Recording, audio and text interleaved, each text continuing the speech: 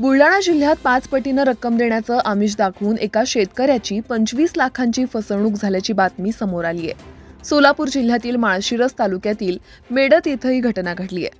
चालू चलनातील पंचवीस लाखांच्या नोटांच्या मोबदल्यात पाच पटीनं दोन हजारांच्या नोटा म्हणजेच सव्वा दोन कोटी रुपये देण्याचं आमिष आरोपींकडून देण्यात आलं. शनिवारी दुपारी तीन वाजताच्या सुमारास हा व्यवहार झाला. फसवणूक झाल्याचं लक्षात येताच शेतकऱ्यानं माळशिरस पोलीस ठाण्यात फिर्याद दाखल केली. त्यानंतर या प्रकरणी सोलापूर पोलिसांनी संग्रामपूर तालुक्यातील दोघांच्या मुसका आवळल्या.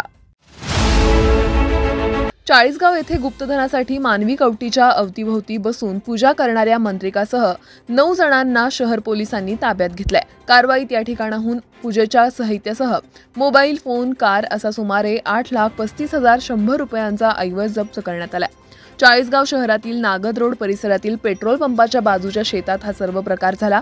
या ठिकाणी काही मांत्रिक गुप्तधन काढण्याच्या तयारीत असल्याची माहिती शहर पोलिसांना मिळाली होती. त्या आधारे पोलिसांनी छापा टाकत ही कारवाई केली आहे. पुणे महानगरपालिकेत नोकरी लावून देतो असं सांगून दोन तरुणींची तब्बल पंधरा लाख रुपयांची फसवणूक केल्याचा प्रकार उघडकीस आलाय. आशिष चंद्रकांत तावडे असं तरुणींची फसवणूक करणाऱ्या आरोपीचं नाव आहे. पीडित तक्रारदार तरुणी ही बेरोजगार असून ती कामाच्या शोधात होती. दरम्यान तिची ओळख आरोपी तावडेशी झाली. तरुणीची रोजगाराची गरज ओळखून आरोपीनं तरुणीला महानगरपालिकेत नोकरी लावून देतो असं खोटं आश्वासन दिलं. यासाठी पैसे लागतील असं सांगितलं. त्यानंतर तरुणीनं तिच्या एका गरजू मैत्रिणीची तावडेशी ओळख करून दिली. दोघींकडून आरोपीनं तब्बल पंधरा लाख रुपये उकळले. या प्रकरणी सिंहगड पोलीस ठाण्यात गुन्हा दाखल करण्यात आला आहे. उपमुख्यमंत्री अजित पवार यांनी नऊ मंत्र्यांसह काल राष्ट्रवादीचे अध्यक्ष शरद पवार यांची भेट घेतली होती. त्या पाठोपाठ आता अजित पवार गटाचे सर्वच आमदार आज शरद पवार यांच्या भेटीसाठी गेलेत. यशवंतराव चव्हाण सेंटरवर या सर्व आमदारांनी आज पवार यांची भेट घेतली. त्यामुळं आता राजकीय वर्तुळात वेगवेगळ्या चर्चांना उधाण आलंय. अहमदनगर शहरात राष्ट्रवादीच्या पदाधिकाऱ्यावर भाजप नगरसेवकासह सात ते आठ जणांनी जीवघेणा हल्ला केला. या घटनेनं शहरात खळबळ उडाली आहे दोन दिवसांपूर्वी अहमदनगरच्या सावेडी उपनगरातील एकविरा चौकात राष्ट्रवादीचे अंकुश सत्तर यांच्यावर जीवघेणा हल्ला झाला होता. यामध्ये सत्तर हे गंभीर जखमी झाले त्यांचा आज उपचारादरम्यान मृत्यू झाला. यानंतर राष्ट्रवादीचे आमदार संग्राम जगताप यांनी गुंडांना पोलिसांचा धाक उरला नसल्याचा आरोप केला. या प्रकरणी भाजपचे नगरसेवक स्वप्नील शिंदे यांच्यासह चार आरोपींना ताब्यात घेण्यात आलं आहे. वर्ध्यातील समुद्रपूर परिसरात लग्नासाठी मुलगी देण्यास नकार दिल्याच्या रागातून तरुणानं मामावर हल्ला केल्याची घटना घडली आहे. लक्की बढेल असं आरोपी भाच्याचं नाव आहे.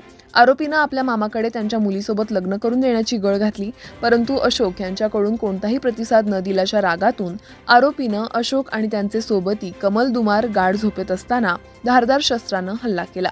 यामध्ये दोघंही गंभीर जखमी झाले. जखमींवर सध्या सावांगी रुग्णालयात उपचार सुरू आहेत.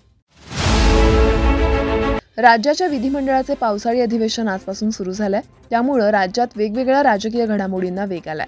दरम्यान उद्धव ठाकरे गटाकडून बंडखोर नेते आमदारांविरोधात कठोर भूमिका घेण्यात येते याच पार्श्वभूमीवर आज अधिवेशनाच्या पहिल्याच दिवशी नीलम गोरे आणि मनीषा कायंदे यांना अपात्र करावं अशी मागणी ठाकरे गटाकडून करण्यात आली आहे मुख्यमंत्री एकनाथ शिंदे उपमुख्यमंत्री देवेंद्र फडणवीस यांच्या उपस्थितीत शिंदे गटात सामील झालेल्या विधान परिषदेच्या उपसभापती नीलम गोरे यांच्यासोबतच विधान परिषदेच्या आमदार मनीषा कायंदे आणि विप्लव बाजोरिया यांच्या विरोधीत आज ठाकरे गटानं अपात्रतेची नोटीस दिली आहे. केदारनाथ मंदिर प्रशासनानं मोबाईल वापराबाबत एक मोठा निर्णय घेतलाय. सध्या मोबाईलच्या अतिवापरामुळं तसंच रील्स आणि व्हिडिओ बनवण्याच्या क्रेजमुळं धार्मिक स्थळाचं पावित्र्य राखलं जात नसल्यानं हा निर्णय घेण्यात आलाय. मंदिर प्रशासनाकडून केदारनाथमध्ये भक्तांच्या मोबाईल फोनवर बंदी घालण्यात आली आहे. काही दिवसांपूर्वी मंदिर प्रशासनानं सुरुवातीला मंदिर परिसरात व्हिडिओ आणि रील्स बनवण्यास बंदी घातली होती. त्यानंतर आता केदारनाथ मंदिर परिसरात मोबाईल नेण्यावर सुद्धा बंदी घातली आहे.